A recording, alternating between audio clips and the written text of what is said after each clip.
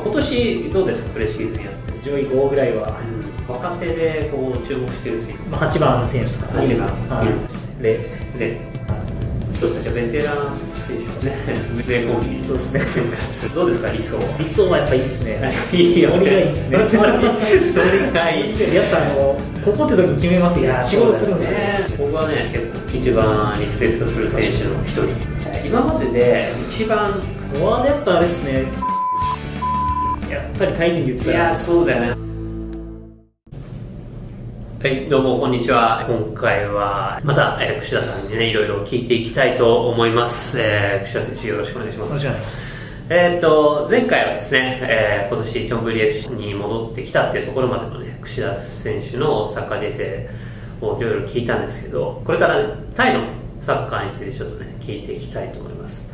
やっぱチョンブリがね、4年やって、で、また今年からっていうやっぱ、串田といえばチョンブリ FC っていう、やっぱイメージがあるんで、まあ、チョンブリのことについてちょっと聞いていきたいんですけど、まあ、今年どうですか、プレシーズンやってて？まあ一つでもチョンブリの特徴としてそのアカデミーの選手が多い。うん。アカデミー上がりの選手がやっぱトップに上がってその選手たちがスタメンで出たり、うん。まあサブにも揃ってるっていうのはやっぱりまあ確かにいいですね。もう昔からね、チョンブリの育成あそうです。で上がった選手、活躍してる選手多いですね。いいチームに移籍したり、代表選手もいっぱいいて、で今年もまあそういう感じで、まあそうですね。で3年前ぐらいまだ若手だった子たちが、だから僕がやってた時にまだアカデミーの選手らが今トップに上がってきたりなるほど。一緒にやってたりとか、まあ、面白いですよね、うんいいですね、それはね、うん、串田戻ってきたっていう感じと、でおっさんらはあれ引退してコーチになあって。そうね。そうそうそう。そうそういや、だって僕、最初来た時、2人まだやってましたよ。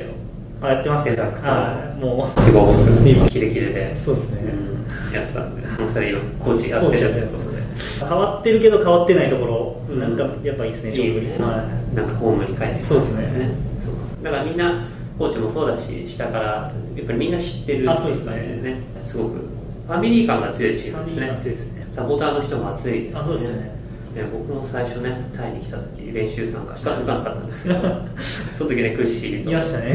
試合い。やいてそうそうお世話になったんですけど、ね、すごくいいチームで今年も上狙いまあそうです上そうですね。上位5ぐらいは。うん、行きたいです行きたいですね。せっかく帰ってきたそうですね。今年若手でこう注目してる選手ああやっぱオリンピック世代。オリンピック世代。はい。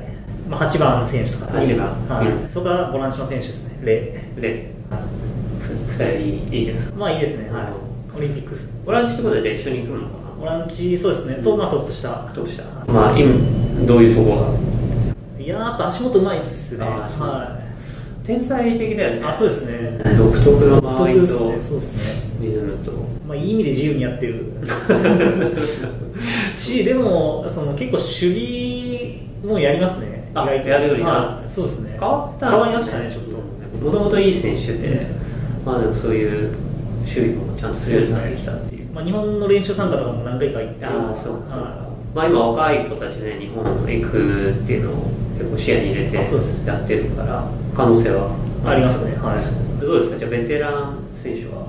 ベテランはそうですね、まあ、中堅あたりがやっぱり昔アカデミーでちょっと若い選手が今中堅あたりになってたり。やっぱりチーム中心でそうですね。で、まあ、ベテランはそれをまあ支えるみたいな感じですねだキーパーも37歳かな。で、まあ、アドゥール僕のボランチのやつはまあ、一緒33ね 名コンビ。そうですね。復活ルールもあれだねブリラム行ったりあそうですね。スパンブリ行ったりそうですね。まあ、どのチーム行ってもいいプレーして、は2人が一緒に組むとねすごい安定感がね。します。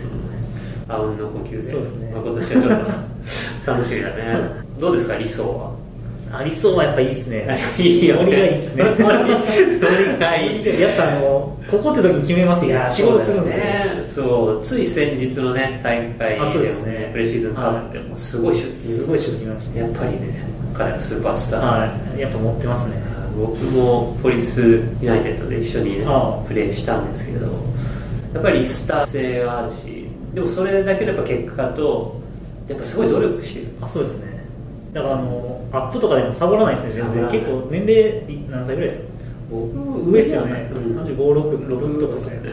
だけど全然そんな見えないですね、そう。しっかりやるんですよ、意外と。そうなんだよね。俺最初はなんかね嫌なやつかなってあそうですね、さあ練習行ったらもう来てくれたのかみたいな感じでウェルカム。だから人間性もそうですねいいっすいねやすごい。で子供教育とか学校で教えてたりとかもしたしその時、まあ、テレビにも出てるし結構ちやほやされてるけど中身がやっぱ止まってますそうだよね。僕はね結構一番リスペクトする選手の一人。確かに。うん。まあ、ちょっと期待したいですね、は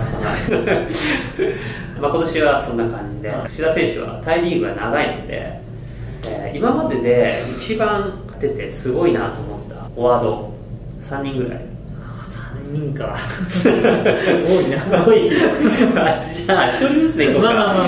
フォワード中中盤盤ディフェンダー、まあ、ゴールキーパーで一人ずつ。あなるほど、はい。まあフォワードやっぱあれですね。